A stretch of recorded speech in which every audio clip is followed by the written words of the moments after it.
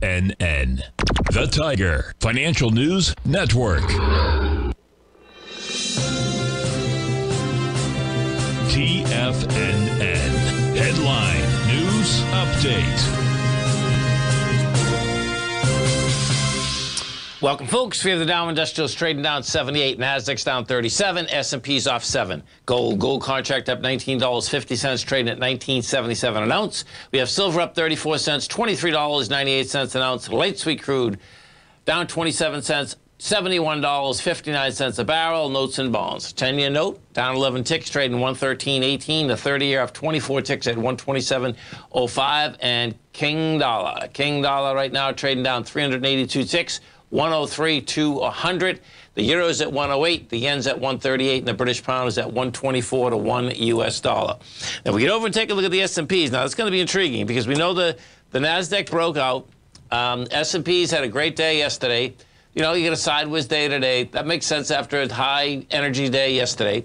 Now that being said, what you have is this: is that the swing point that you're going after? It's doesn't, well? Let's see if it's going. It's going to be close on the volume actually. 458 million, and right now you're no, it's not going to get it. We'd have to do another 90 million. So what you have here is this: is that the price of 418.31 is the number to keep your eye on. Now we're over that right now. Okay. Uh, bottom line, it closes over that. That's saying it's going to go for that swing, the higher swing, which is the 431, which is quite a move, okay? So we'll see how this shakes out. We have gone as low as 417.35 today, but you close over it, the next swing point is game. We go into the uh, three Qs. Three Qs are set uh, uh, different. There's no doubt about that. And that being said, what does happen, the NDX 100 loves leading the market. And what you have inside there is that we are not only over the 334, you have you're over it with volume. So that's saying that the Qs actually want to get up to the 371.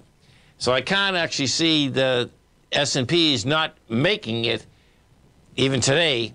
Um, you know, staying it can stay where it is, and that still be saying we're going to go up to the next leg. So, bottom line, it looks like that this next leg is coming on us. We take a look at the bond market, the note and bond market. We have in the note and bond market.